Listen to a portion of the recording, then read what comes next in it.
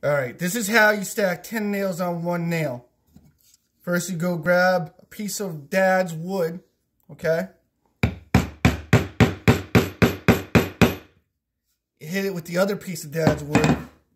All right, you take all the nails. You got 10 nails here. Put one nail like that, the other one that way, this way, and just keep doing that until you get to the end.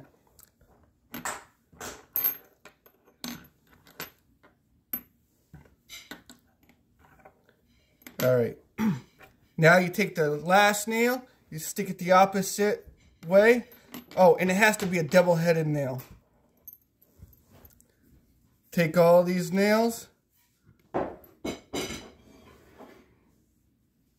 Stick it on Dad's wood.